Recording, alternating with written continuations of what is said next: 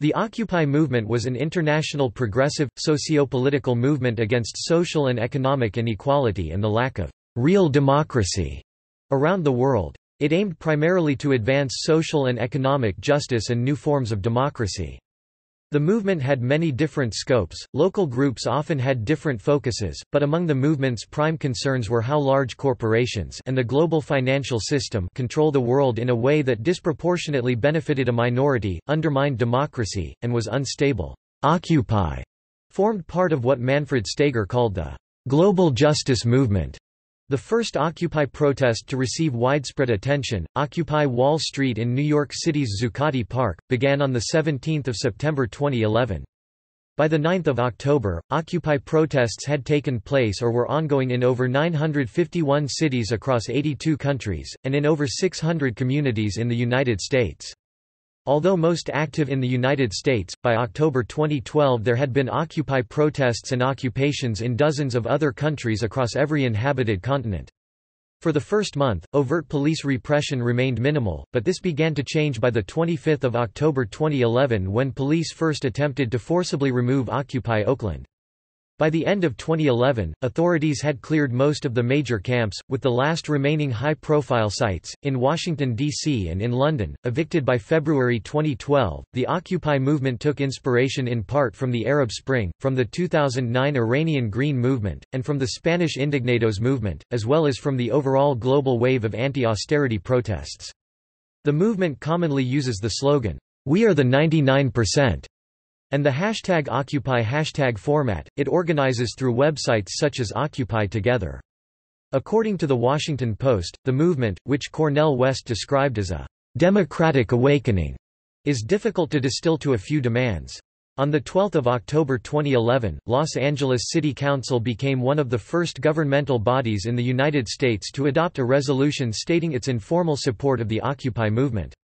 In October 2012, the executive director of financial stability at the Bank of England stated that the protesters were right to criticize and had persuaded bankers and politicians to behave in a more moral way.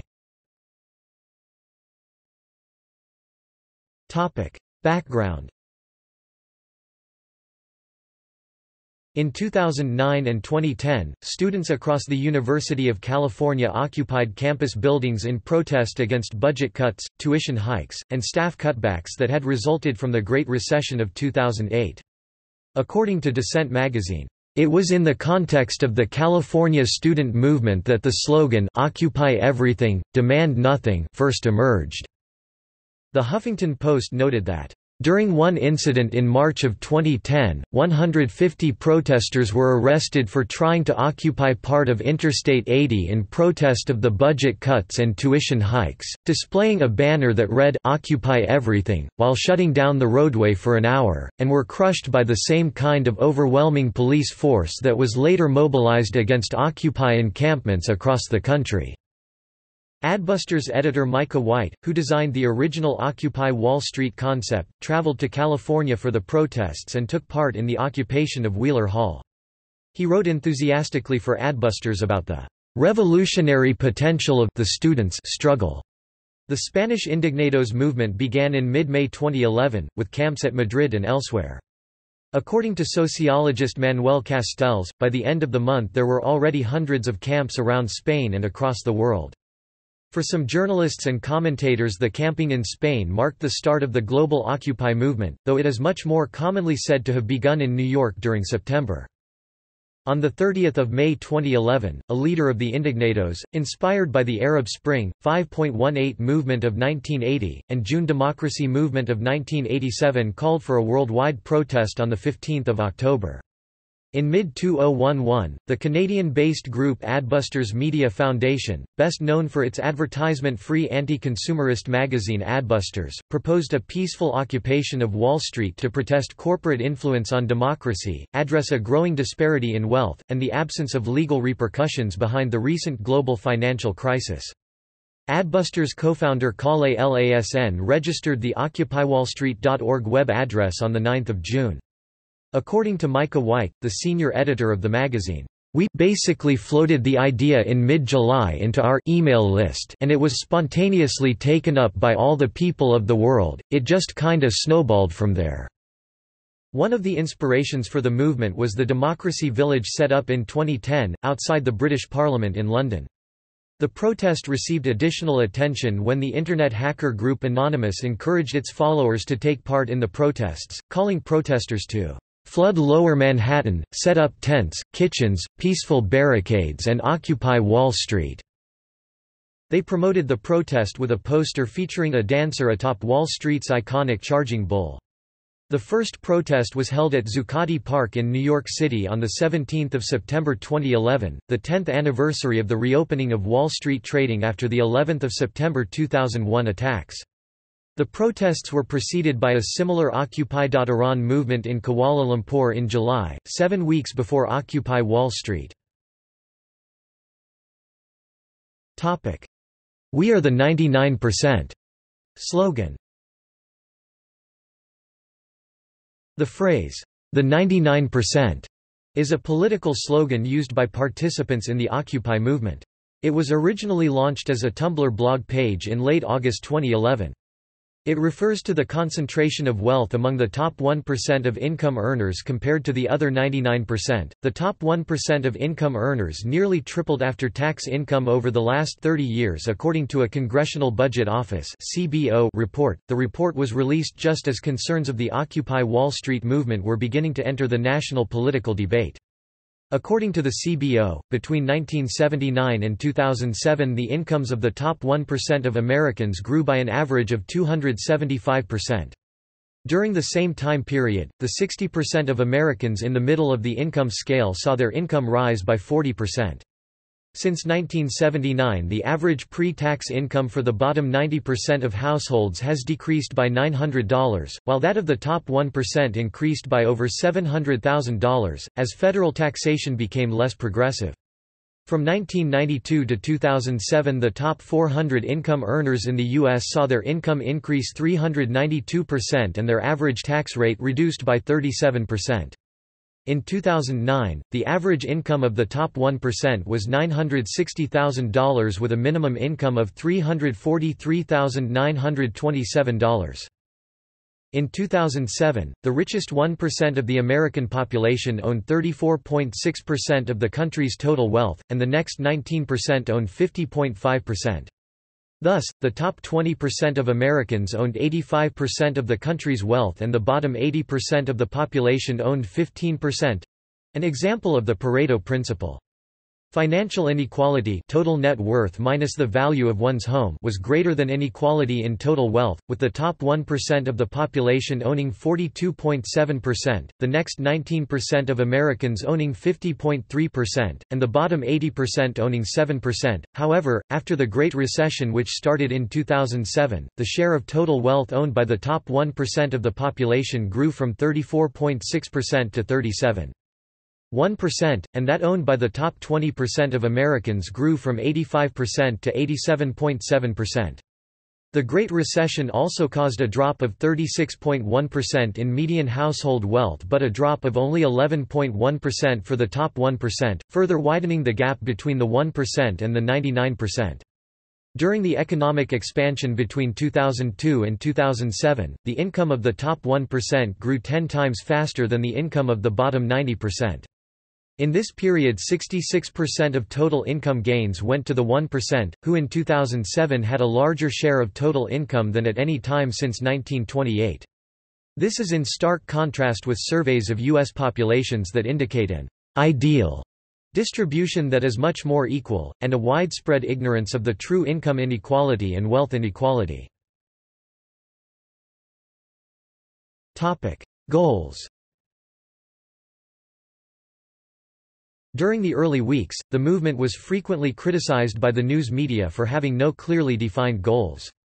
Speaking on 7 October 2011, Kalle Lasn of Adbusters said that, in the early stages, the lack of demands was the mysterious part that allowed the movement to grow.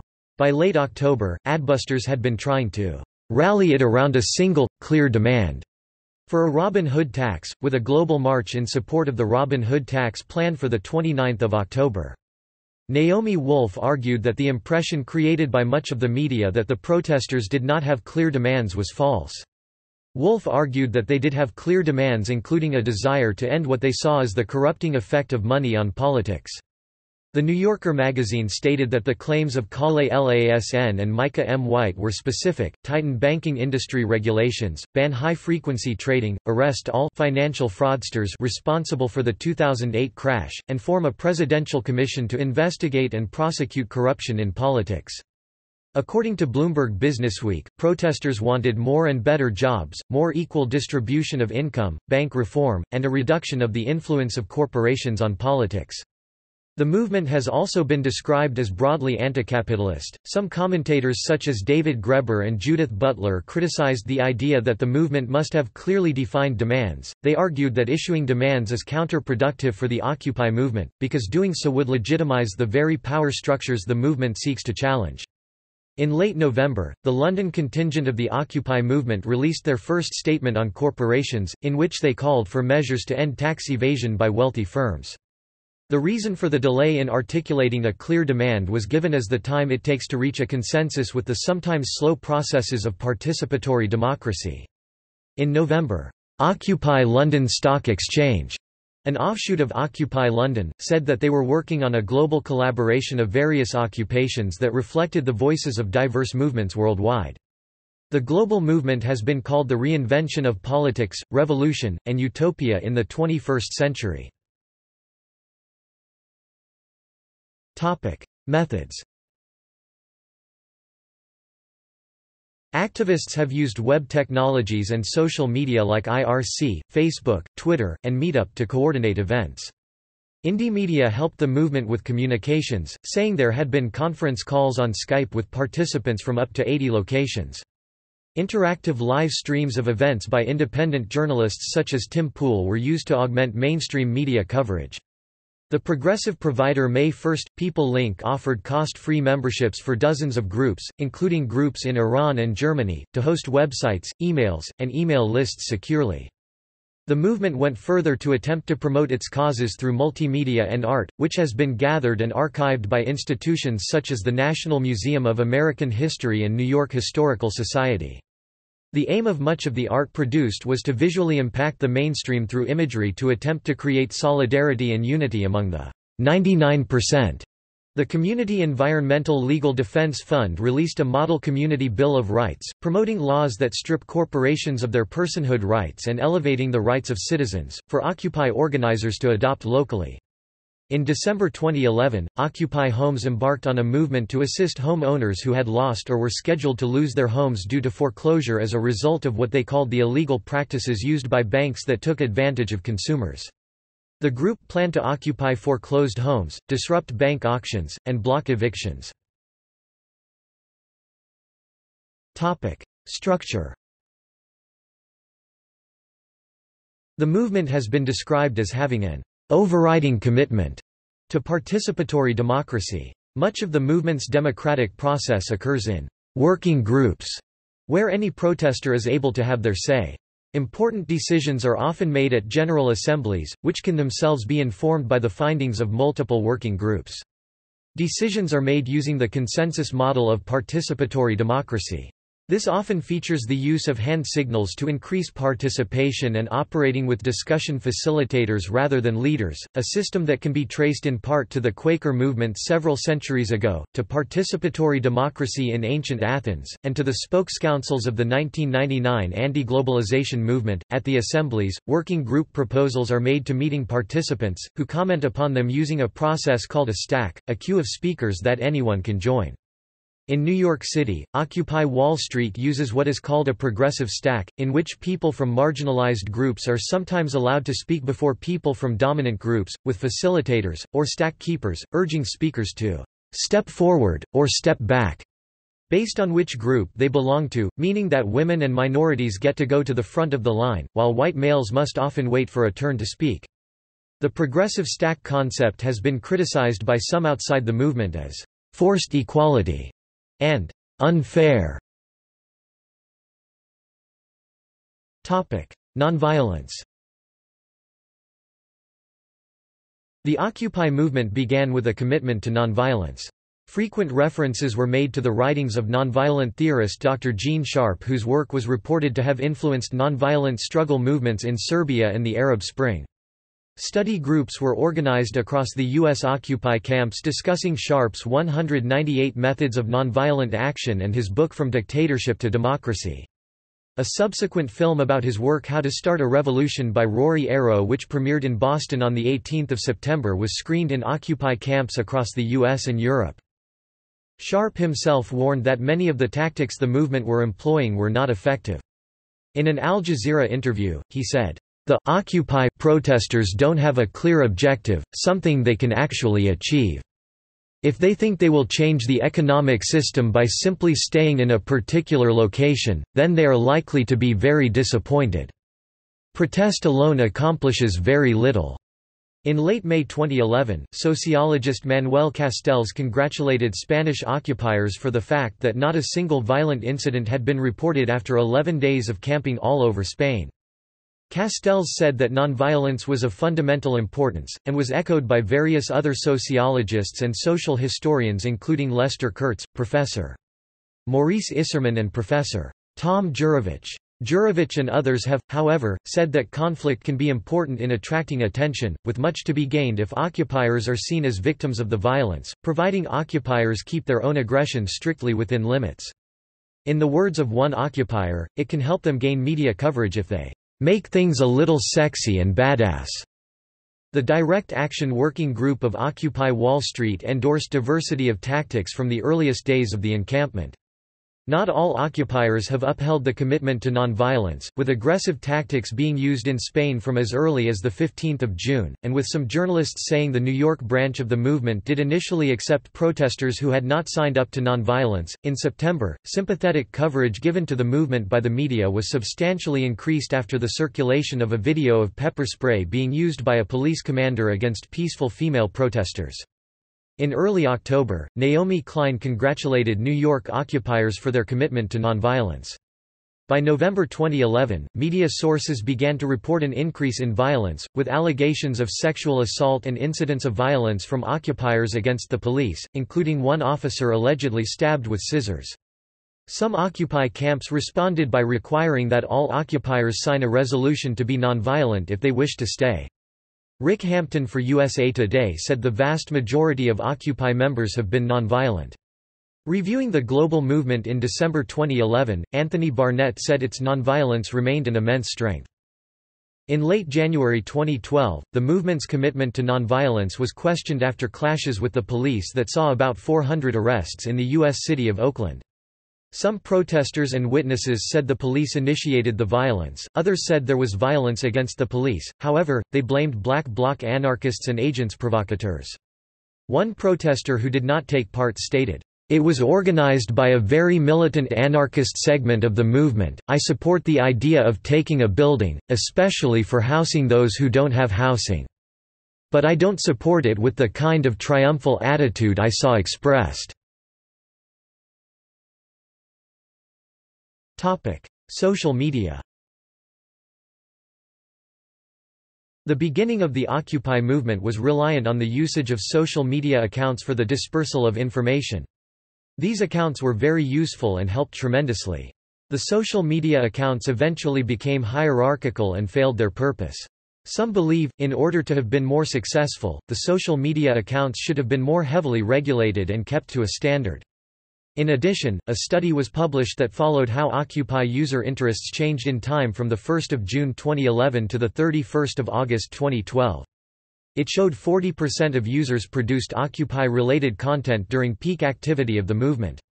But, it was not sustained over the following year, with the user ratio dropping to less than 5% in the last three months of the study period. Responses to the movement from celebrities were both in person and online. Some find it controversial that rich celebrities made appearances at the Occupy Wall Street movement, but Kanye West justified his appearance as helping give power back to the people. Other celebrities such as Yoko Ono, Mark Ruffalo, and Michael Moore tweeted and showed their support.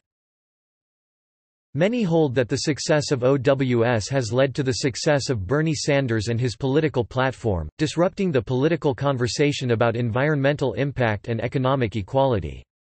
Some believe that there was social media blockage of Sanders' presidential campaign, in favor of more airtime for Donald Trump and Hillary Clinton. During the 2016 presidential election, people used the hashtag Bernie Blackout hashtag to boost awareness around the unfair usage of popular media to favor some presidential candidates over others. Chronology of events. The WikiLeaks-endorsed news site WikiLeaks Central began promoting the idea of a U.S. Day of Rage on 10 March 2011. The Canadian editor-in-chief Heather Marsh, and the American WikiLeaks central writer Alexa O'Brien modeled the concept after the Day of Rages being held at that time in the Middle East and North Africa. Early promotion by the WikiLeaks Twitter and blog was reported as being instrumental in the group's success. It was renamed Occupy Wall Street after the idea publicized on an email list and online blog. 13 July 2011, by Vancouver-based non-profit Canadian group Adbusters. The Occupy Wall Street protests began on 17 September 2011 in downtown Manhattan. On 9 October 2011, activists in cities in over 25 countries repeated calls for a global protest on 15 October. A list of events for 15 October included 951 cities in 82 countries. On 15 October events were held in many cities worldwide. The 17th of September to the 14th of October 2011. On the 17th of September 2011, 1,000 protesters gathered in downtown Manhattan walking up and down Wall Street. About 100 to 200 people stayed overnight in Zuccotti Park, two blocks north of Wall Street. By the 19th of September, seven people had been arrested. At least 80 arrests were made on 24 September after protesters started marching uptown and forcing the closure of several streets. Most of the 80 arrests were for blocking traffic, though some were also charged with disorderly conduct and resisting arrest. Police officers also used a technique called kettling which involves using orange nets to isolate protesters into smaller groups. Videos which showed several penned-in female demonstrators being hit with pepper spray by a police official were widely disseminated, sparking controversy. That police official, later identified as Deputy Inspector Anthony Bologna, was shown in other videos hitting a photographer with a burst of spray. Public attention to the pepper sprayings resulted in a spike of news media coverage, a pattern that was to be repeated in the coming weeks following confrontations with police. Clyde Haberman, writing in The New York Times, said that, "...if the Occupy Wall Street protesters ever choose to recognize a person who gave their cause its biggest boost, they may want to pay tribute to Anthony Bologna." Calling the event, "...vital," for the still nascent movement. On 1 October 2011, protesters set out to march across the Brooklyn Bridge. The New York Times reported that more than 700 arrests were made. Some said the police had tricked protesters, allowing them onto the bridge, and even escorting them partway across. Jesse A. Myerson, a media coordinator for Occupy Wall Street said, "...the cops watched and did nothing, indeed, seemed to guide us onto the roadway." A spokesman for the New York Police Department, Paul Brown, said that protesters were given multiple warnings to stay on the sidewalk and not block the street, and were arrested when they refused. On 4 October, a group of protesters who were arrested on the bridge filed a lawsuit against the city, alleging that officers had violated their constitutional rights by luring them into a trap and then arresting them. In June 2012, a federal judge ruled that the protesters had not received sufficient warning of arrest pending entrance onto the Brooklyn Bridge. Although video evidence showed the police warning protesters by bullhorn, after reviewing it, Judge Jed S. Rakoff sided with plaintiffs, saying, a reasonable officer in the noisy environment defendants occupied would have known that a single bullhorn could not reasonably communicate a message to 700 demonstrators. On 5 October 2011, joined by union members, students, and the unemployed, the demonstration swelled to the largest yet with an estimated 15,000 marchers joining the protest. Smaller protests continued in cities and on college campuses across the country. Thousands of union workers joined protesters marching through the financial district. The march was mostly peaceful. until after nightfall, when scuffles erupted. About 200 protesters tried to storm barricades blocking them from Wall Street and the Stock Exchange. Police responded with pepper spray and penned the protesters in with orange netting. Inspired by Occupy Wall Street, British protesters organised an occupation of the London Stock Exchange to bring attention to what they saw as unethical behaviour on the part of banks. One of the organisers of the protest said the protests were to be focused against increasing social and economic injustice in this country. In his opinion, the government has made sure to maintain the status quo and let the people who caused this crisis get off scot-free, whilst conversely ensuring that the people of this country pay the price, in particular those most vulnerable. The 15th of October to the 4th of November On 15 October 2011 global protests were staged around the world, with thousands of protesters staging demonstrations in 900 cities including Auckland, Sydney, Hong Kong, Taipei, Tokyo, Sao Paulo, Paris, Madrid, Berlin, Hamburg, Leipzig, and many other cities. In Frankfurt, 5,000 people protested at the European Central Bank and in Zurich, Switzerland's financial hub, protesters carried banners reading, "'We won't bail you out yet again' and we are the 99%. Protests were largely peaceful, however, a protest in Rome that drew thousands turned violent. Thousands of Occupy Wall Street protesters gathered in Times Square in New York City and rallied for several hours. Several hundred protesters were arrested across the U.S., mostly for refusing to obey police orders to leave public areas. In Chicago there were 175 arrests, about 100 arrests in Arizona 53 in Tucson, 46 in Phoenix, and more than 70 in New York City, including at least 40 in Times Square. Multiple arrests were reported in Chicago, and about 150 people camped out by City Hall in Minneapolis. In the early morning hours of the 25th of October, police cleared and closed an Occupy Oakland encampment in Frank Ogawa Plaza in Oakland, California. The raid was chaotic and violent, but Oakland Police Chief Howard Jordan expressed his pleasure concerning the operation because neither the police nor the public suffered any injuries. A street march that afternoon protesting the closure culminated in a confrontation between police and protesters, who sought to re-establish the Ogawa Plaza encampment. During this confrontation, protester Scott Olsen, a former Marine and Iraq War veteran, suffered a skull fracture caused by a tear gas projectile or smoke canister fired by police. By 29 October 2011, there were around 2,300 Occupy protest camps across around 2,000 cities worldwide. On 2 November, protesters in Oakland, California, shut down the Port of Oakland, the fifth busiest port in the nation. Police estimated that about 3,000 demonstrators were gathered at the port and 4,500 had marched across the city. However, a member of the Occupy movement was quoted by the BBC as estimating as many as 30,000 may have taken part. On the 4th of November 2011, Occupy the Roads OTR started traveling throughout the U.S. to bring the message of Occupy, in order to educate the people on various issues facing the general public and shine a light on the inequities and political injustice.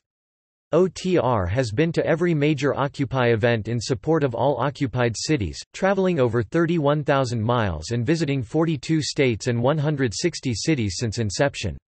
One side of the RV named the V from the chant, Who's V, RV, has been decorated with stickers, posters, and event notices from around the country representing a billboard for the Occupy movement. On the other side is 31 feet of graphics in support for Bradley, Chelsea Manning and WikiLeaks. 5 to 25 November On 5 November, protesters held Bank Transfer Day, marching on banks and other financial institutions to urge Americans to move their money from big corporate banks to smaller community credit unions. It was reported that an estimated 600,000 people took their money out of major banks. On the 11th of November, Remembrance Day in Canada, police forcibly removed tents from Victoria Park in Halifax, Nova Scotia and arrested 15 protesters.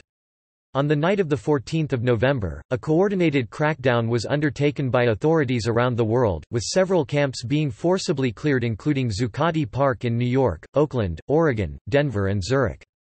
For some of the other camps such as the one at St. Paul's in London, no physical action was taken, but on 15 November authorities stepped up legal action to gain authorization for a forcible eviction. Financial Times editor Richard Lambert suggested that the shift to confrontational tactics by authorities would be more likely to spur on the movement rather than cause it to disband. However, John Gapper, chief business commentator at the FT, offered a different view. Gapper said that it may be advantageous that the camps were being closed down, as they were beginning to alienate even members of the public who were initially fully sympathetic with the movement. During a demonstration at UC Davis on 18 November 2011, campus police Lieutenant John Pike used pepper spray on seated students.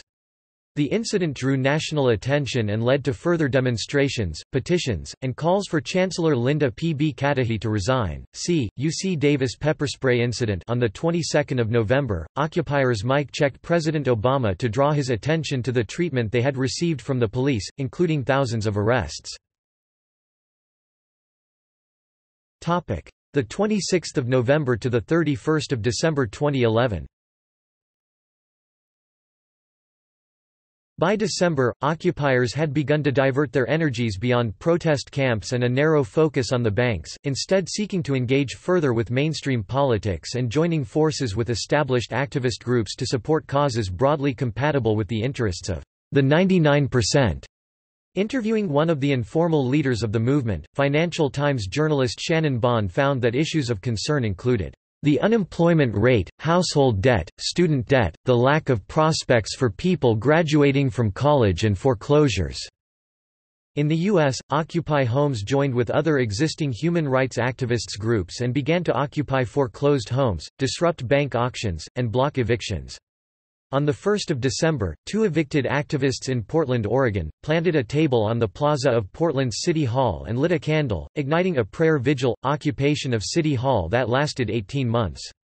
On the 22nd of December the Washington Post reported that some of the cities which had forcefully disbanded Occupy camps were now facing legal challenges. The 1st of January 2012 to 2016 On 2 January 2012, Occupy Nigeria began, sparked by Nigeria's President Goodluck Jonathan announcing the ending of fuel subsidies in the country. There was support from the global movement, but most of the activity took place in Nigeria itself, with a report from CSM saying strikes were effectively shutting down whole cities. On 16 January Jonathan responded by announcing he would bring prices back down by partially restoring the fuel subsidy. While students have been involved with Occupy since its inception, early 2012 has seen increasing formal interaction between the Occupy movement and academia.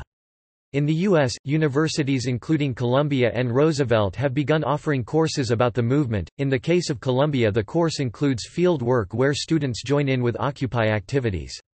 In Great Britain, Occupy's Outwork teams are planning school visits to give talks about the movement and related issues. On the 23rd of January, EGT LLC Export Grain Terminal and the International Longshore and Warehouse Union ILWU reached a tentative agreement, mediated by Washington State Governor Christine Gregoire. The agreement resolved a year-long dispute, paving the way for ILWU Local 21 workers to work inside the $200 million grain terminal at the Port of Longview in southwest Washington state.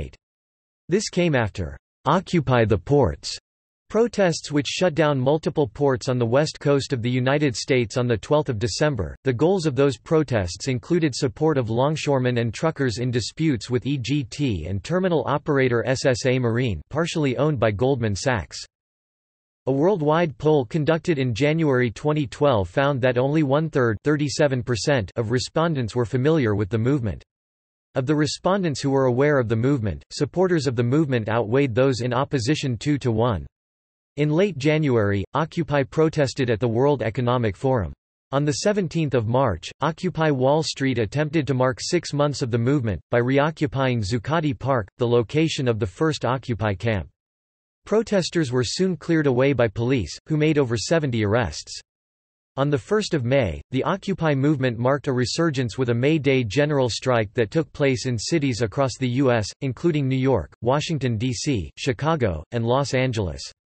This included a revival of the Free University of New York. On the weekend of 15 and 16 September, members of the Occupy movement gathered in Union Square, with direct action training on the 15th and a celebration of the movement on the 16th. On 17 September, the Occupy movement celebrated its first anniversary with several marches and general assemblies which were attended by thousands of protesters. The longest U.S. reoccupation Started on 1 December 2011, when evicted activists from the Occupy Portland camp set up a table on the plaza of Portland's City Hall and lit a candle, igniting the 24-7 prayer vigil to lift the camping ban, referring to the city's anti-camping ordinances that were cited during the eviction. The activists claimed the laws, which prohibit the use of bedding, sleeping bags, or other sleeping matter, are immoral and that they're obligated to challenge them. The occupiers claim that sleep is human right and is essential for mental, physical and emotional health, citing that human beings need to spend nearly a third of their lives sleeping. Prohibiting sleep by making it illegal for people to protect themselves and their belongings from the elements causes sleep deprivation, it is inhumane, unconstitutional, and amounts to torture. The activists said the prayer vigil would continue until bedding matter was again legal. The vigil was staffed around the clock until 23 July 2013, when Mayor Charlie Hales ordered the removal of the vigil and associated encampments on the abutting sidewalks. The Occupy movement has already transformed beyond recognition from its original state, and campaigns have emerged outside the constraint of the trademark Occupy tactics. These campaigns include Occupy Sandy which has provided needed relief to the New York area since Hurricane Sandy hit, Occupy London's Occupy Economics Group that hosted, and was praised by the Bank of England's Executive Director for Financial Stability, Occupy the SEC, which monitors U.S. financial regulatory matters, the Rolling Jubilees program of Strike Debt, which is raising money to retire zombie debt Debt, such as medical bills, that the individual cannot repay. Occupy University, which has developed and made accessible free educational materials, and the Debt Collective, a successor of Strike Debt, work to get students of a fraudulent for profit college absolved of their debt with some success. On 3 April 2016, hundreds of supporters of Bernie Sanders protested outside of CNN's headquarters in Los Angeles. Sanders supporters were protesting CNN's coverage of the 2016 United States presidential elections, specifically in regards to the amount of airtime Sanders has received. Known as Occupy CNN, protesters are claiming that major media networks have intentionally blacked out Sanders' presidential campaign in favor of giving much more airtime to candidates such as Hillary Clinton and Donald Trump. In Switzerland, the Occupy spirit lives on by annual online and offline celebrations each year on the 17th of September in the village of Saint Imier where modern anarchism began with the International Congress of 1872. The Occupy Café along with the Decentral Co-operative continues to assist those wishing to participate in the continuing decentralization of the power of banks and corporate entities, and, to encourage global activism through developing trust and value networks. June 2018 – The present After an approximate two-year hiatus in activism on location, the Occupy movement organized the Occupy ICE phase in order to protest the actions of U.S. Immigration and Customs Enforcement Office regarding the detention of undocumented immigrants presenting themselves at the southern U.S. border points to seek asylum. While small groups of protesters emerged across the country in protest of the separation of families who were detained during immigration processing, a group swarmed the ICE facility in Soho, NYC, causing it to shut down temporarily. In Washington state, hundreds of Occupy ICE activists took over a portion of the grounds of the Portland ICE building. The blockade caused the building to shut down for several days, with ICE staff citing safety concerns. On 25 June, feds ordered the protesters to vacate government environs or face arrest. On 28 June 2018, federal officers moved in the early morning hours to remove and or arrest protesters blockading the building. Eight protesters were arrested. 19 August 2018 Occupy Kalamazoo begins encampment to address homelessness as of September 9, 2018 encampment has stood and is still growing to with a list of demands to address homelessness. Topic: Protests. Topic: Armenia. On 20 February 2012 near Margarian Maternity Clinic, where kiosks were being built by the city authorities. The place of protests was promptly dubbed, Mashtots Park, a name under which it is now widely known by the Armenian society now.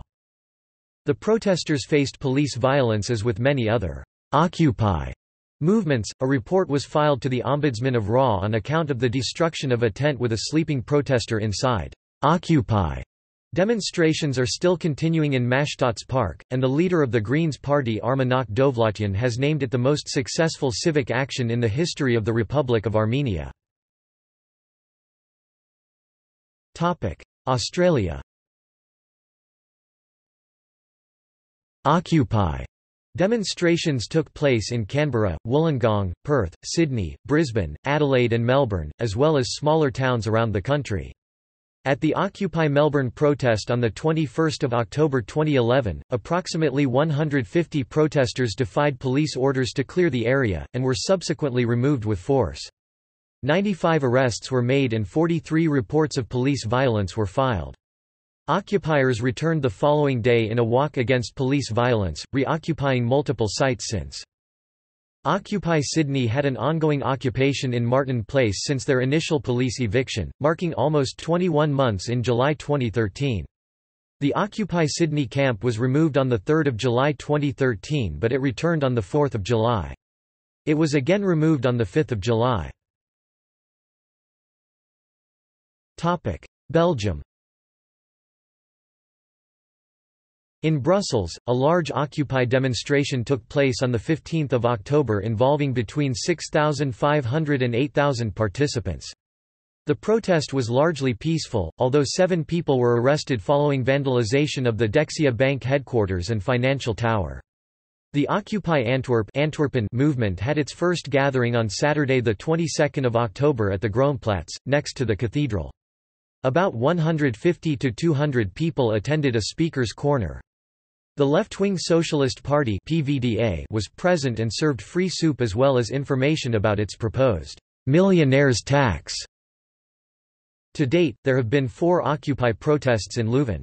Three took place on the Grand Market in the center of the city and one took place at a building of the city's Catholic University. The number of protesters in these rallies varied from 100 to 250. These protests have not included prolonged camping, but the protesters say that it is a possibility in the future. Occupy Ghent Gent began on 29 October with 400 people in the South Park Zuidpark. They received a visit by supporters attending the Second Day of Socialism De Tweede Dag van het Socialisme, also held in Ghent on the same day. Brazil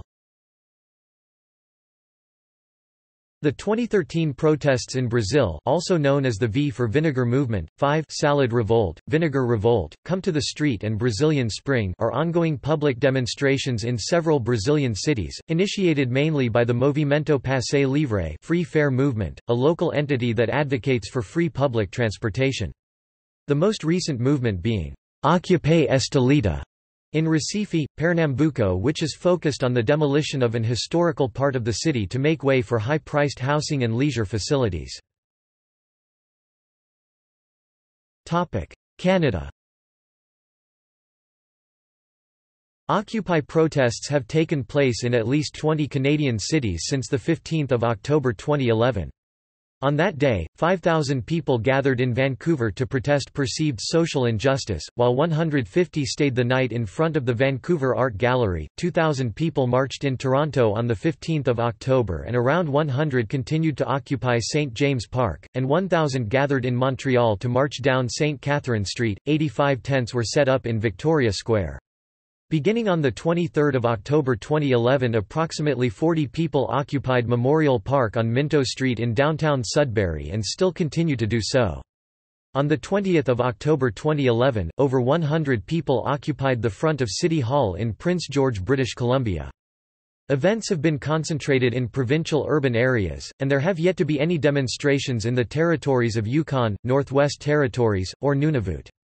A relatively small group of occupiers successfully occupied Harborside Park in St. John's, Newfoundland for the entire 2012 winter season.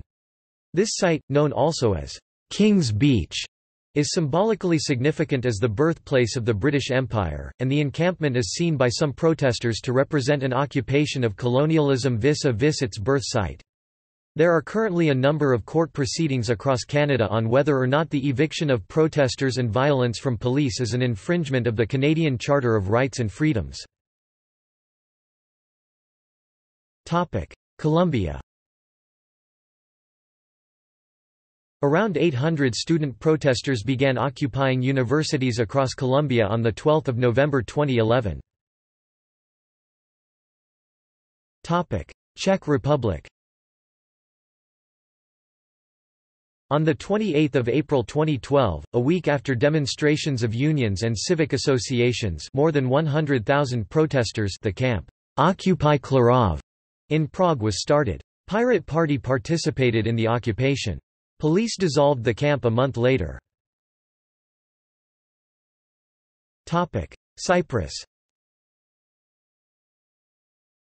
On 19 November 2011, protesters started the No Borders Camp, or Occupy Buffer Zone, a permanent occupation of the United Nations-controlled buffer zone in the center of the capital, Nicosia, demanding an end to the decades-long division of the island. The movement used the Twitter hashtag, OccupyBuffers. By June 2012 the occupation of the buffer zone was essentially over. Denmark On 15 October 2011, 2,000 protesters showed up on the square in front of the City Hall of Copenhagen, protesting in sympathy with OWS. Immediately after the demonstration an Occupy Copenhagen camp was established. The camp, internally nicknamed Plaza One Love, lived through harsh climate conditions and a couple of eviction attempts for two months, until it was torn down by the municipality of Copenhagen and Danish police, on 21 December. The movement has shifted to a mobile camp tactic, and still holds GA every Wednesday and other activities throughout the week. France Some 300 protesters started occupying Paris's financial district, La Défense, on 4 November 2011. Since then, their camp has been torn down by several police forces. According to French protesters, relations with the police have varied considerably. Some police joined them for coffee and friendly discussion, but otherwise were hostile and confiscated blankets and food, leaving protesters sleeping in the cold outdoors without protection. On the 11th of November, following a call made on social networks, some 400 additional people joined the occupation. Occupy protests have also begun at Nantes, Lyon, Grenoble, Marseille, Perpignan and more than 50 cities. On 31 March 2016, students and young workers began occupying public spaces in France in opposition to the 2016 neoliberal labour reforms in a protest movement known as Nuit debout. As of 8 April, it has spread to dozens of cities in France as well as to Belgium, Germany, and Spain. Germany The Occupy movement began in Germany on 15 October 2011 with protests in Berlin, focused outside the Reichstag, as well as Frankfurt, Hamburg and Dusseldorf. Occupy Frankfurt subsequently took residence in front of the European Central Bank, and Occupy Berlin established a protest camp at St. Mary's Church. On 12 November major Occupy protests took place in Berlin and Frankfurt. Police reported that around 9,000 people peacefully protested near the headquarters of the European Central Bank, and that several thousand People took to the streets of Berlin. Organizers of the protests claimed that turnout was around 8,000 in Berlin and 10,000 in Frankfurt. Hong Kong. An Occupy movement in Hong Kong, named Occupy Central, began on 15 October 2011 with protesters occupying the plaza beneath the HSBC main building in Central, an iconic landmark of the territory's central business district. Despite the fact that the protesters were peaceful, HSBC filed a lawsuit for their eviction. On 13 August 2012, the High Court ruled that the protesters must leave the occupied area. On the 11th of September 2012, the protesters were evicted from the plaza by court bailiffs, ending one of the world's longest continuously occupied Occupy protest camps. Topic: Israel Social protests have been ongoing in Israel since 14 July 2011. Topic: Italy On 15 October 2011, about 200,000 people gathered in Rome to protest against economic inequality and the influence of the European Commission, the European Central Bank and the International Monetary Fund on government. Many other protests occurred in other Italian cities the same day. In Rome masked and hooded militants wearing makeshift body armor, in black bloc fashion, participated in the protests centered in St. John Lateran Square and committed numerous violent acts, throwing Molotov cocktails and other homemade explosives, burning and blowing up cars, burning buildings, and smashing up property such as ATMs and shop windows. The Roman Catholic Church Santi Marcellino e Pietro al Laterano received extensive damage, including a statue of the Virgin Mary being thrown into the street and destroyed. Several unexploded petrol bombs were reportedly found on several streets by Italian police. Over 1 million euros of damage, equivalent to over $1.3 million, was recorded. At least 135 people were injured in the resulting clashes, including 105 police officers, several of whom were left in critical condition, and two news crews from Sky Italia. Two protesters had their fingers amputated by exploding smoke bombs. Almost 20 people have been arrested in connection with the violence. After the 15 October demonstration, people occupied the Santa Croce in Jerusalem Square and started camping as in other cities worldwide. The name of this Rome's group, related to international Occupy movement, is a Acampada Roma. Malaysia The Occupy Dataran movement first held their assembly at Dataran Merdeka Independence Square seven weeks before Occupy Wall Street on 30 July 2011 to create an alternative to the current representative democracy using the popular assembly model based on principles of participatory democracy. As part of the 15 October 2011 global protests, over 200 people took part in 15 October's Occupy Dataran, the largest assembly to date. In late October, the movement spread to Penang with Occupy Penang and Kelantan with Occupy Kota Baru. Topic Mexico Occupy began in Mexico City on the 11th of October 2011 with a hunger strike in front of the Mexican Stock Exchange high-rise. Edur Velasco, a 56-year-old labor economist and university professor, was on a 42-day-long hunger strike sitting in a tent outside Mexico City's stock market, demanding that the government guarantee greater access to higher education among the youth. Days after his initiative, it came as a surprise to see the multiplication of tents setting up outside the stock exchange building. Police remained discreetly around the corner sitting in their trucks. Occupy Mexico did not achieve the level of popularity it gained in other areas. This is attributed to the fact that Mexico's Occupy protesters, which were focused on poverty and workers' rights, failed to resonate with a public enthralled by the violence of the Mexican drug war. In contrast, an anti-violence movement led by Javier Sicilia during the time that the Occupy protests occurred, drew thousands onto the streets of Mexico City. The Occupy movement was almost entirely ignored by Mexico's mainstream politicians. By late January 2012, most of the tents were empty and only a few protesters remained outside the stock exchange. Topic Mongolia S. Ganbaatar, the head of Mongolia's Confederation of Trade Unions CTU, has announced that the association joins the worldwide Occupy protests of Wall Street and other high streets on 20 October 2011. He claimed that bankers are charging higher interest rates from customers and corporates. In the most recent data in September 2011, the weighted average annual MNT lending rate is 16% in Mongolia. Topic Nepal Also known as Baluwatar Satyagraha, Occupy Baluwatar is a peaceful protest movement calling on the Nepali state to better address the widespread problem of impunity and gender-based violence.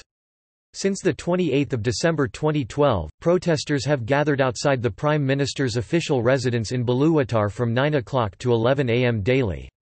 The protesters created a coherent set of demands, divided into short and long-term goals, which they presented to then Prime Minister Baburam Bhattarai. The short-term demands call on the state, including the police and the judiciary, to properly investigate and prosecute the guilty in five specific cases which took place immediately prior to the movement's start. The long-term demands focused on policy reform in the arenas of migration and rape laws, among others. Topic Netherlands In the Netherlands, Occupy protests took place in many cities, most notably Amsterdam, The Hague, Rotterdam, and Utrecht Topic New Zealand In October 2011, Occupy protests began in six New Zealand cities Auckland, New Plymouth, Wellington, Christchurch, Dunedin, and Invercargill with protests in Auckland drawing up to 3,000 supporters. A seventh Occupy protest started on 19 November in the lower Hutt suburb of Pomare by a group called Pomare Community Voice to highlight what they called a loss of community caused by the demolition of state homes in the area. On 23 January, police moved in on four sites in Auckland. Two arrests were made and police said campers were in breach of council bylaws regarding camping. The sites were at Aotea Square, 360 Queen Street, Victoria Park and Albert Park. Topic Nigeria Occupy Nigeria is an anti-fuel subsidy removal protest that started in Nigeria on 2 January 2012 in response to fuel subsidy removal by the federal government of Nigeria on 1 January 2012. It is a movement against corruption in government and public service, insensitive and inhuman treatment of Nigerians by government and security agents. The movement ended on 16 January 2012 following agreement between the government and the organized labor leaders which saw a partial restoration of the subsidy regime. Fuel pump price in Nigeria has since then been fixed at the official rate of 97 naira per litre while it practically sells for as high as 130 naira in some major cities including Port Harcourt, one of the cities in the oil-producing states in Nigeria. Topic Norway The Occupy movement in Norway began on 15 October with protests in Oslo and Bergen as part of the Global Day of Action. In Oslo, the movement has since then met every Saturday in the city centre, usually at Eidsvolls Plass in front of the parliament, but sometimes at other sites, like Spikersuppa and Youngstorget.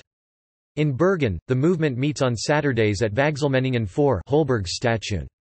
Topic Republic of Ireland To date six towns and cities in Ireland have witnessed experienced Occupy camps, Dublin, Cork, Limerick, Galway, Waterford, Letterkenny, and Athlone.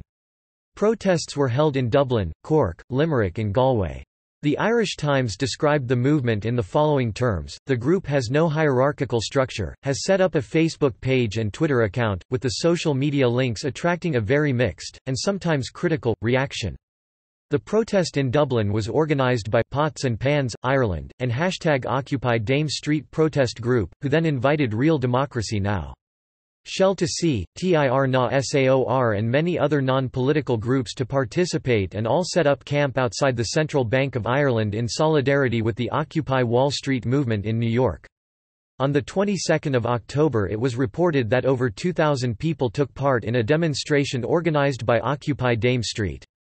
This camp survived through the winter, but was removed by An Garda Síochána Irish police on 13 March 2012, days before the annual St. Patrick's Day parade. On the morning of 16 May 2012 at approximately 4.30 am, the Occupy camp in Eyre Square in Galway, the longest lasting of the Occupy groups in Ireland, was removed by An Garda Síochána and Galway City Council. The camp was removed because the group was illegally occupying a public amenity. At the time the camp was dismantled, there were only six protesters at the camp. The camp had lasted for 215 days. Topic South Africa In South Africa, a movement called Taking Back South Africa, sprung up as an initiative primarily aimed at protesting and inciting mass action against the economic and social inequality in the country. It consists of a loose informal affiliation of on-the-ground groups and individuals across South Africa as well as internet-based groups. During the 2016 Fees Must Fall movement, protest groups also adopted the slogan Hash Occupy for Free Education in response to the government's perceived lack of interest in dealing with the issue. Topic South Korea Hundreds of protesters held rallies in the South Korean capital of Seoul on 15 and the 22nd of October in 2011 under the slogan of Occupy Seoul. Protesters focused on issues such as a recent free trade agreement with the United States as well as costs of tuition and rent. Occupy Seoul began as a part of the 15th of October 2011 global protests. Protesters gathered in several places in Seoul, including Yeouido financial hub of Seoul where protesters rallied under the slogan of Occupy Yeouido, 99% against financial exploitation of 1%. Three primary requirements demanded by these protesters were, 1 clarifying the responsibility of the bureaucracy, 2 financial regulations, and 3 compensations for the victims of failed financial policies of Korean government. Other protesters, led by leftist organizations such as People's Solidarity for Participatory Democracy, gathered in front of Seoul train station and Daehanmun. However, they failed to enter the Seoul City Hall Plaza as they had planned, as their protest permit was rejected by the police due to an exhibition that was already taking place in the plaza. Although there were considerable support from public, there were also criticisms regarding the nature of the protest. Unlike the original Occupy movement which started out as the anti-capitalist protest, many of the catchphrases of Occupy Seoul contained anti-government or anti-American messages. One of the observers has argued that, "...South Korea overcame the 2008 financial crisis relatively well and there was no serious crisis in financial sector. It is hard to find the legitimate basis of the protest." Spain A series of protests demands a radical change in Spanish politics, as protesters do not consider themselves to be represented by any traditional party nor favored by the measures approved by politicians. Spanish media have related the protests to the economic crisis, Stéphane Hessel's time for outrage, the Neat troubled generation and current protests in the Middle East and North Africa, Greece, Portugal as well as the Icelandic protest and riots in 2009. The 15M movement drew inspiration from 2011 revolutions in Tunisia, Egypt and uprisings in 1968 France, South Korea in 1980 and 1987 and Greece in 2008. Switzerland On 15 October 2011, between 500 to 1,000 Occupy protesters demonstrated in front of the offices of UBS and Credit Suisse on the Paradeplatz in Zurich. 100 protesters later established an occupation on the nearby Lindenhof, which was evicted by the police on 15 November. Taiwan The Sunflower Student Movement is a protest movement driven by a coalition of students and civic groups that began on 18 March 2014, in the Legislative Yuan and, later, also the Executive Yuan of the Republic of China Taiwan. The activists protested the passing of the Cross-Strait Service Trade Agreement by the ruling party Kuomintang at the legislature without clause-by-clause -clause review. The protesters occupied the legislature for 24 days before vacating peacefully. Turkey The initial protests in Istanbul on 28 May 2013 were led by about 50 environmentalists against replacing Taksim Gezi Park with a reconstruction of the Ottoman-era Taksim military barracks the scene of pro-Sultan riots in 1909. The current protests developed into riots after the heavy-handed police intervention which featured significant use of tear gas and water cannons.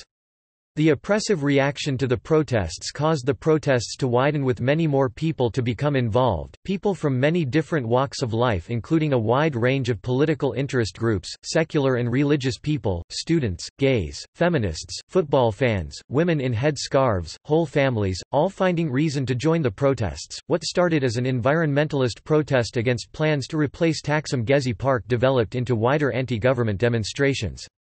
Demands issued on 4 June included the end of police brutality the end of the sale of public facilities such as parks, forests and beaches to private investors the right of public expression media responsibility in informing the public of events, and other demands.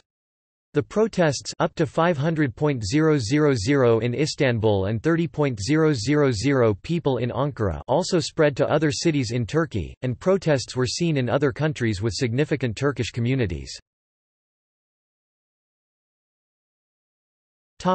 United Kingdom England As part of the 15 October 2011 global protests, protesters gathered in London, Bristol, and Birmingham in England, together with Glasgow and Edinburgh in Scotland see Scotland heading below.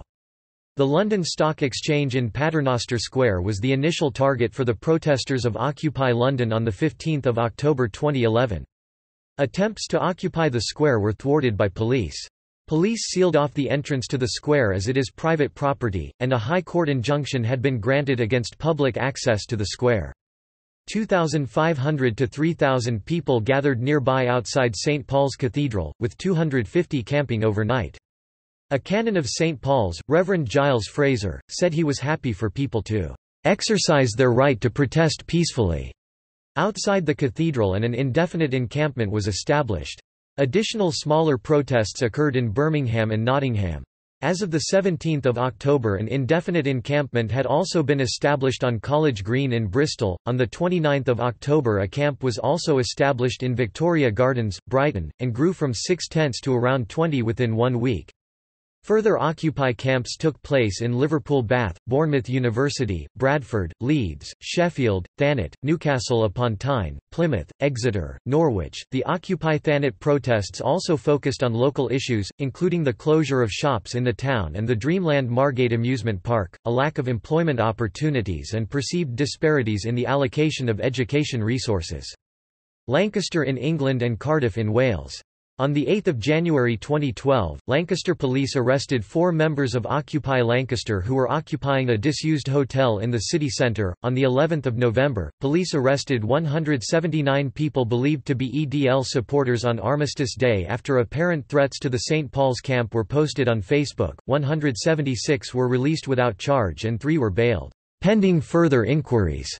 On 15 November, an Occupy camp was established in the centre of Leicester near the Highcross shopping centre.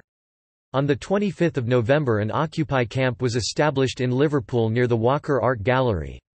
Starting on 30 November 2011 following a national strike action, a body of students occupied the University of Sheffield Arts Tower in solidarity with, but not limited to, the Occupy movement. On 17 October 2014 a new camp was established in Parliament Square, Westminster by a group called Occupy Democracy. The camp was part of a campaign for greater transparency in democracy as well as an end to lobbying. The camp lasted two days until police swept in, giving protesters 30 minutes to leave or face arrest. Any items that could be used for sleeping have been deemed illegal under the Police Reform and Social Responsibility Act 2011, created after the original occupation. The eviction was live-streamed, showing police dragging protesters away. Police said there was one arrest. 50 to 100 protesters remained in the park overnight. On their website, the group says their goal is to direct the energy from current single-issue struggles into a critical mass that can radically challenge the corrupt and unrepresentative system." Northern Ireland In Northern Ireland, Occupy Belfast initiated its protest outside the offices of InvestNI on 21 October 2011. Occupy Belfast took residence at Writers Square, in the Cathedral Quarter. It also took control of a disused building owned by the Bank of Ireland, renaming it the People's Bank, with plans to open a library and homeless accommodation to be a community hub. It was expected that an Occupy Derry would take place in the near future. Occupy Coleraine took over the University of Ulster Common Room for three weeks in December 2013. The group protested the demolition of the historic student-teacher shared space, due for refurbishment as a senior management corporate dining room. Scotland Occupy camps were established in the financial district of St Andrews Square, Edinburgh on 15 October 2011. St Andrews Square is the home of the Royal Bank of Scotland headquarters in the Dundas House mansion. Edinburgh City Council subsequently officially backed Occupy Edinburgh and the Occupy movement worldwide. Protesters from Occupy Glasgow set up in the Civic George Square on 15 October but after the council obtained a court order moved to Kelvingrove Park, where the council agreed to provide running water, toilets and safety fences. Wales In Wales, Occupy Cardiff originally set its campsite outside Cardiff Castle but it was disbanded by police, and some protesters were arrested. Charges were later dropped following calls from trade unionists, lawyers and politicians including Plaid Cymru leader Leanne Wood, Labour Party politician Tony Benn and demonstrations outside Cardiff Magistrates Court. Occupy Cardiff set up a new camp in the city, outside the offices of Welsh Labour and a number of trade unions at the Transport House, Cathedral Road. United States The Occupy Wall Street protests began in New York City on 17 September 2011.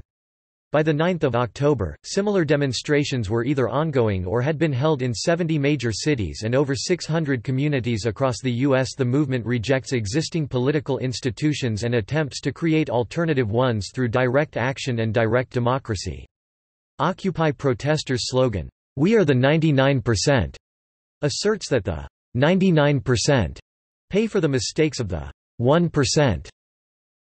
The original location of choice by the protesters was One Chase Plaza, the site of the Charging Bull statue, but when police discovered the planned site, it was fenced off and nearby Zuccotti Park was chosen.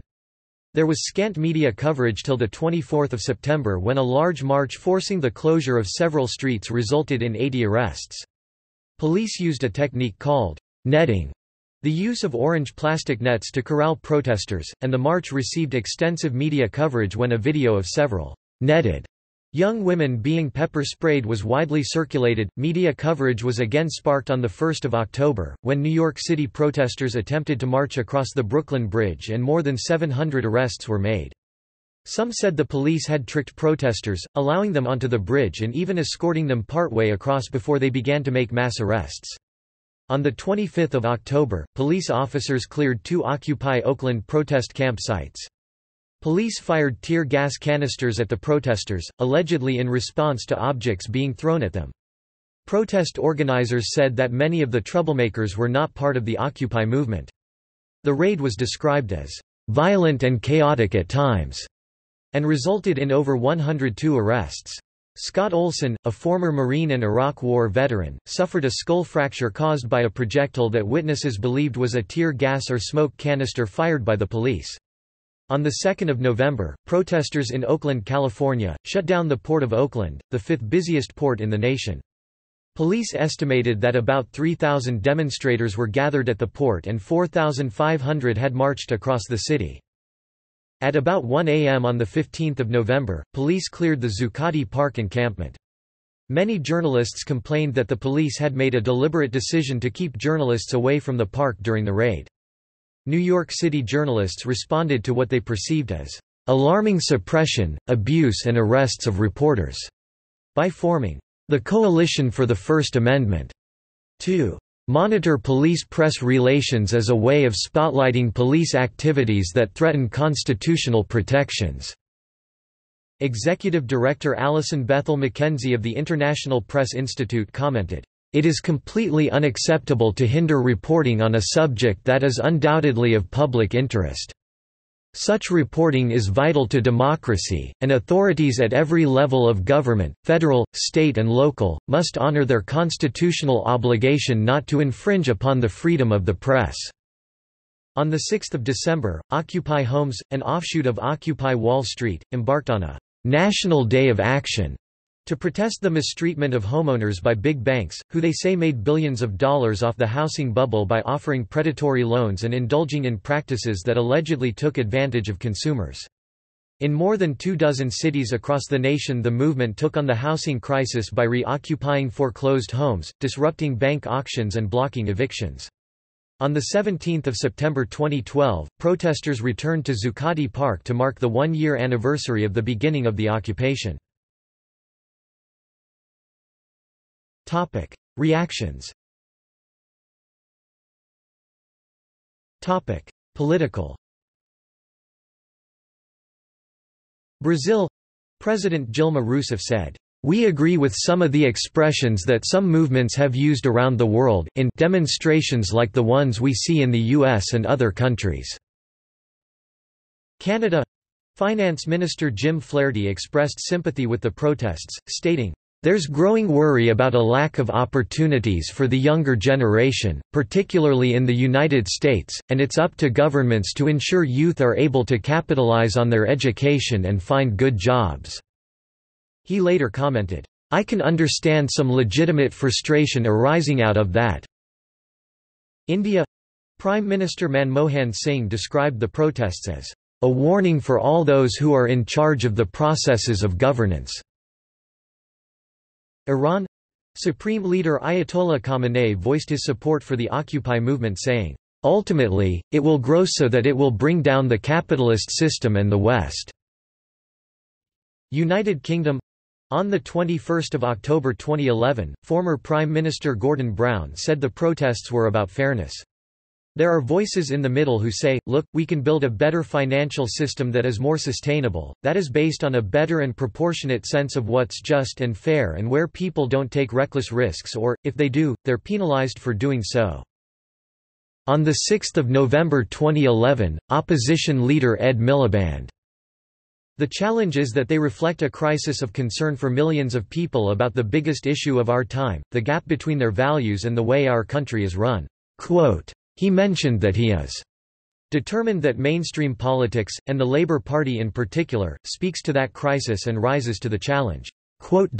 On Saturday 26 November 2011, Edinburgh City Council set a worldwide precedent by voting in favour of the motion to support the aims and sentiments of Occupy Edinburgh and the Occupy movement as a whole.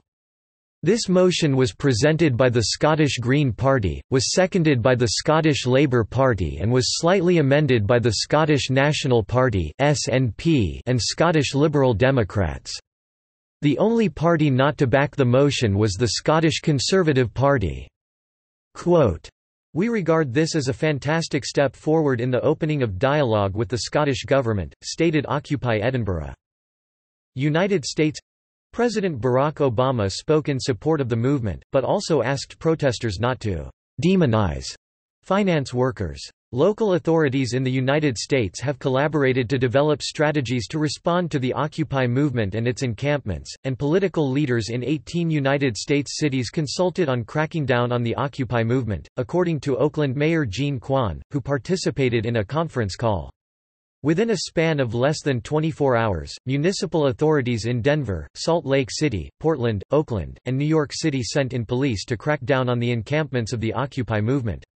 In a markedly different approach, the city administration and police in New Haven, Connecticut, have worked with Occupy New Haven to ensure the safety of protesters occupying the upper section of the New Haven Green. Until 18 April 2012, Occupy New Haven, has been running continuously on the Green for 186 days until they were removed by police. Venezuela President Hugo Chavez condemned the horrible repression of the activists and expressed solidarity with the movement. Media Foreign Affairs has had various articles covering the movement. In the January-February 2012 issue, Francis Fukuyama argued that the Occupy movement was not as influential as the right-wing Tea Party movement. One of the most puzzling features of the world in the aftermath of the financial crisis. He wrote, is that so far, populism has taken primarily a right-wing form, not a left-wing one. In contrast, a survey for the think tank Center for American Progress suggested that the Occupy movement has succeeded in substantially boosting the coverage of the job crisis in the American media. Other Egyptian protesters from Tahrir Square have lent their support of the movement. A message of solidarity issued by a collective of Cairo-based protesters declared, as the interests of government increasingly cater to the interests and comforts of private, transnational capital, our cities and homes have become progressively more abstract and violent places, subject to the casual ravages of the next economic development or urban renewal scheme. An entire generation across the globe has grown up realizing, rationally and emotionally, that we have no future in the current order of things. In early December 2011, business magnate Richard Branson said the movement is a good start That they have been protesting for valid reasons, and that if the business community takes some of their concerns on board they will have made a difference. On 15 December 2011, Jesse Jackson said that Jesus Christ, Gandhi, and Martin Luther King were all occupiers, and that Occupy is a global spirit, which is now sweeping the nation and the world, fighting for justice for all of God's children." A global survey of 23 countries published by Ipsos on 20 January 2012 found that around 40% of the world's citizens are familiar with the movement. Over twice as many reported a favorable response to the movement compared to those who dislike it. Support for the movement varied markedly among countries, with South Korea 67%, Indonesia 65%, and India 64% reporting the highest sympathy, while Australia 41%, Japan 41%, and Poland 37% reporting the lowest. Topic: Impact Some known impacts to date include the following Topic. Social impact In the United States, the protests have helped shift the focus of national dialogue from the federal budget deficit to economic problems many ordinary Americans face, such as unemployment, the large amount of student and other personal debt that burdens middle-class and working-class Americans, and other major issues of social inequality, such as homelessness. The movement appears to have generated a national conversation about income inequality, as evidenced by the fact that print and broadcast news mentioned the term, income inequality, more than five times more often during the last week of October 2011 than during the week before the occupation began. Longer-term effects are much less clear, as according to Google search trends, in the years since 2012 interest has waned. Occupy movement raised awareness regarding what organizers consider undeserved wealth and lack of fairness in American society. Labor unions have become bolder in the tactics they employ and have been using digital social media more effectively thanks to the Occupy movement. In New York City, the Occupy Wall Street protest has also provided hundreds of protesters to help in picket actions conducted by labor unions. Offshoots of the Occupy movement, such as Rolling Jubilee, a project of strike debt, have bought millions in zombie debt, money that individuals owe that they have no financial means to pay, including medical debt, to free the debtors from the obligation to pay it off. As of September 2014, Rolling Jubilee claims to have cancelled more than $15 million in medical debt and $4 million in private student loan debt. Noam Chomsky argues that the movement spontaneously created something that doesn't really exist in the country, communities of mutual support, cooperation, open spaces for discussion, just people doing things and helping each other." As of April 2015, Rolling Jubilee reports it has cleared nearly $32 million in debt. On 10 November 2011, The Daily Telegraph reported that the word, occupy, had been the most commonly used English word on the Internet and in print. Over the past 12 months according to a top 10 list published by media analysis company Global Language Monitor.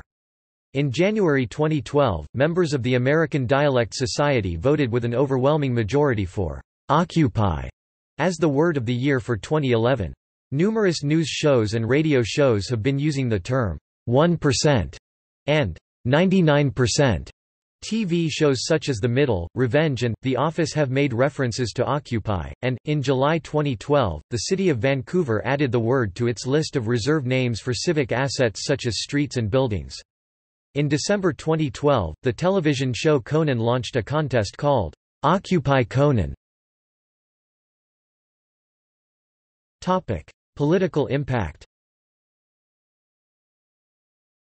On 27 December 2011, the Financial Times argued that the movement had had a global impact, altering the terms of the political debate.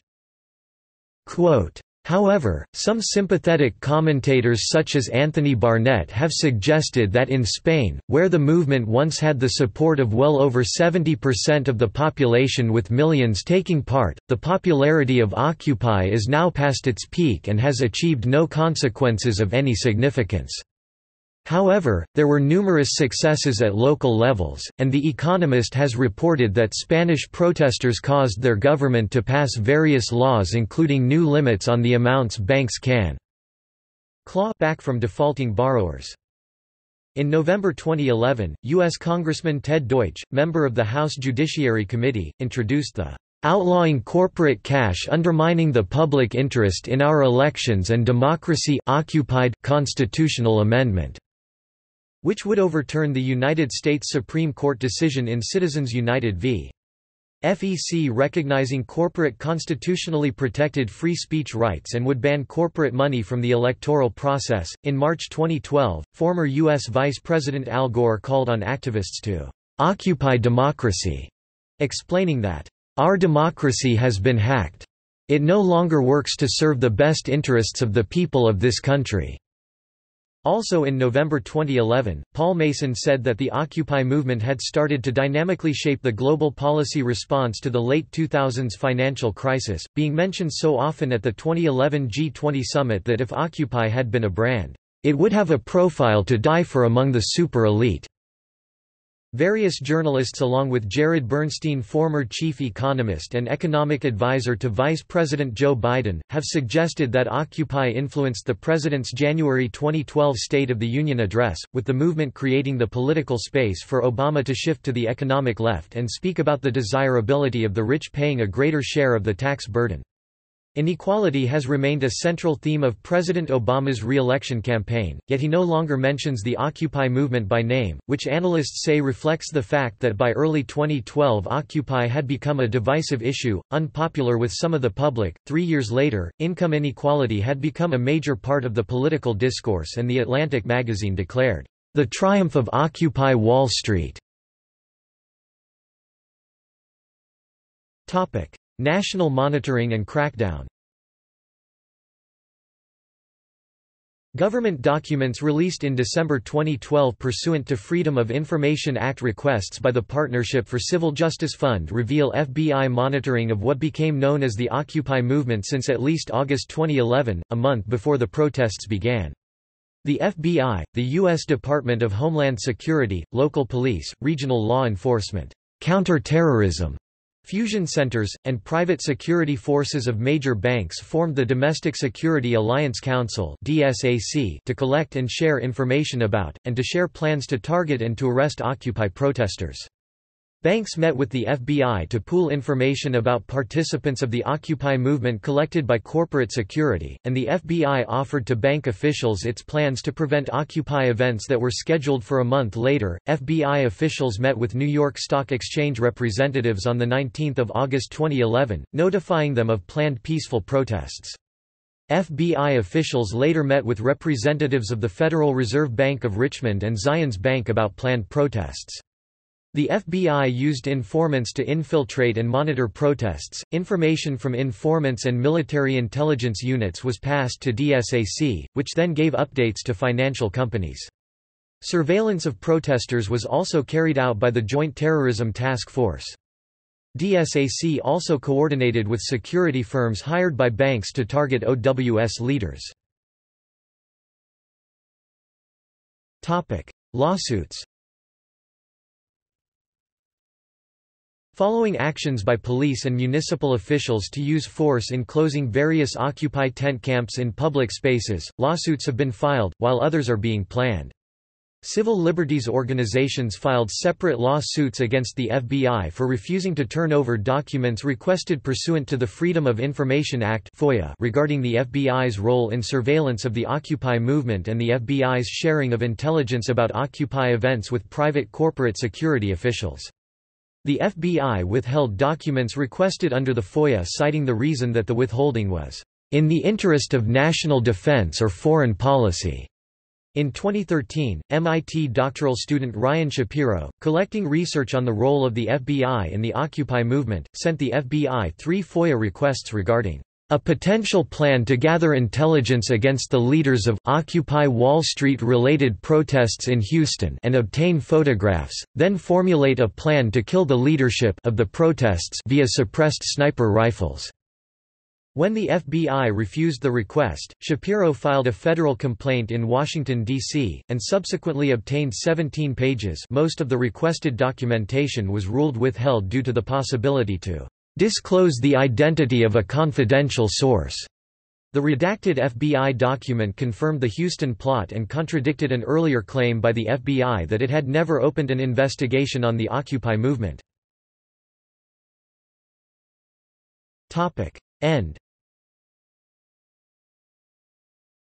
By 2015, there were no more Occupy events chasing the same original goals. Instead, there were multiple reported protests that had similar methods to the Occupy movement, with different goals.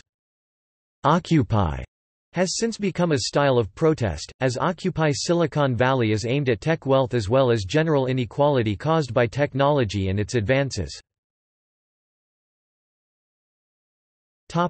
Criticism Apart from the dismissals made by political conservatives, there have also been appreciative criticisms from more left-wing scholars. One such critique concerns itself with the way in which the Occupy movement has focused its demands around a narrowly modern understanding of freedom that differs little from the claims of mainstream liberal pluralism. The modern ideology of freedom provides its point of departure. This singular dominance of the modern becomes clear in the long list of demands that follow.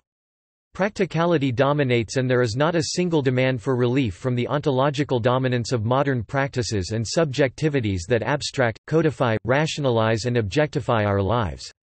Though the ideals and demands are laudable, they are not that much different in form from the Millennium Goals of the United Nations. International activists involved in the Occupy movement have seen it stall due to a lack of synergy to work with other alternative movements calling for change. The biggest criticism is that the movement is without depth, without a lasting vision of an alternative future. In her critique of the Occupy movement, American political philosopher Jodi Dean argues that the focus on autonomy, leaderlessness and horizontality paved the way for conflicts and disillusionment within the movement. Emphasis on autonomy encouraged people to pursue multiple, separate and even conflicting goals rather than work toward common ones. Celebration of horizontality heightened skepticism toward organizing structures like the General Assembly and the Spokes Council, ultimately leading to the dissolution of both. Assertions of leaderlessness as a principle incited a kind of paranoia around leaders who emerged but could not be acknowledged or held accountable as leaders. So rather than solving the problem of left political organization by focusing on process and immediate questions of action, as anarchism suggests, Occupy Wall Street in fact poses it anew. It pushes us to think again about the role of a communist party. Remarks from Occupy Wall Street participant Justine Tunney, a Google software engineer, who called on President Obama to appoint Eric Schmidt, CEO of America, have also sparked criticism, including from the vast majority of other Occupy participants, many of whom have observed that her politics are inconsistent with horizontalism. Many Occupy Wall Street protests have included anti Zionist and anti Semitic slogans and signage such as, Jews control Wall Street, or Zionist Jews who are running the big banks and the Federal Reserve. As a result, the Occupy Wall Street movement has been consistently confronted with accusations of antisemitism. However, Abraham Foxman, national director of the Anti-Defamation League stated that, "...it's not surprising that in a movement that deals with economic issues you're going to get bigots that believe in this stereotype. However, they are not expressing or representing a larger view."